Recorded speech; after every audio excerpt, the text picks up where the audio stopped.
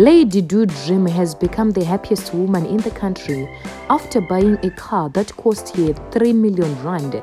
And this has inspired many people in the country that hard work pays off when you are consistent on your work, where you have to push hard every day until you get anything that you want. After her separation from her husband, many people thought that things would go bad for her because of the cash flow that Andile was bringing at home. But she has amazed a lot of people by buying this car, which cost around 3 million rand. And she didn't waste any time but to show her followers there are also some of the pictures that she took while she was on a mission together with her child.